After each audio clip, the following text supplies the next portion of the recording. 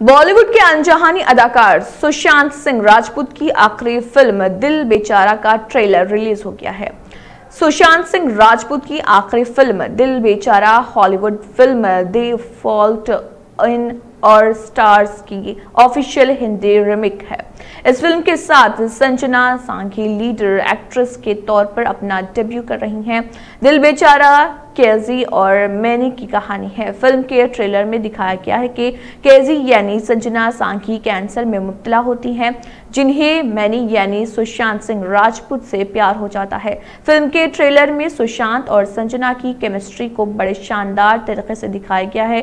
Trailer के हर scene में emotion है जो दिल को छू जाते हैं। फ़िल्म में सुशांत सिंह राजपूत की अदाकारी शानदार लग रही। इसके साथ ही संजना ने भी काफ़ी बेहतर तरीके से केजी की किरदार को अदा किया है। फ़िल्म के ट्रेलर को सोशल मीडिया पर पॉजिटिव रिस्पांस मिल रहा। सुशांत के फैंस इमोशनल हैं, लेकिन साथ ही फ़िल्म के लिए एक्साइटेड भी जानिब देखे गए हैं और फ़िल्म का एक डायलॉग, लेना और कब मरना है? हम डिसाइड नहीं कर सकते। लेकिन कैसे जीना है, ये लोगों को हम डिसाइड करते हैं। खूब पसंद आ रहा ये फ़िल्म 24 जुलाई से डिज्नी प्लस हॉट स्टार पर स्ट्रीम होगी।